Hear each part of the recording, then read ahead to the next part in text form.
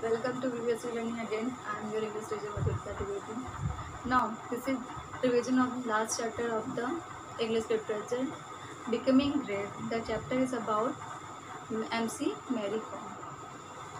So, class, from tomorrow there will be your exam. So, today this is the last revision test of literature.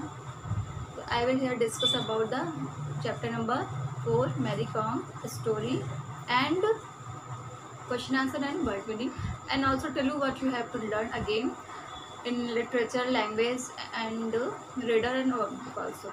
So first i will explain the chapter number 4 story in short and then exercises means word meaning and uh, question answer. Becoming great chapter number 4 question number first. Is it easy to become great? The answer is it is not easy to become great. Means it is not so easy to become great. To become great you have to work hard do everything to the best of your ability. Means you must have to work hard to get success in your life. Then question number 2 what did mary's parents work as? Mary's parents worked as manual laborer in the field. Question number 3 who inspired Mary Kom to become a boxer? Dingko Singh inspired Mary Kom to become a boxer. Who inspired? Dingko Singh inspired Mary Kom to become a boxer.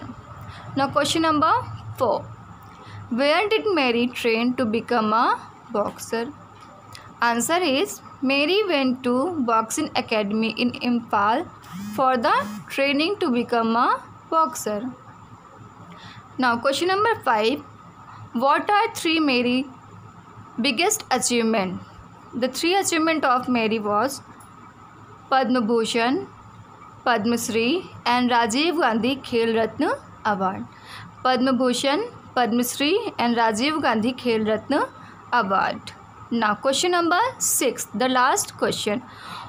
What name is Mary sometimes known as and why?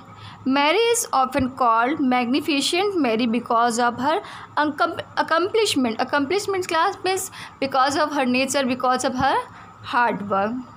So class, in reader, you have to learn chapter number 3 and 4. Question answer will not come, only exercises that you have already noted down in a copy will come and in workbook exercises and question answer will not come from reader book and workbook. Only question answer of chapter number 3rd and chapter number 4 of your course book will come.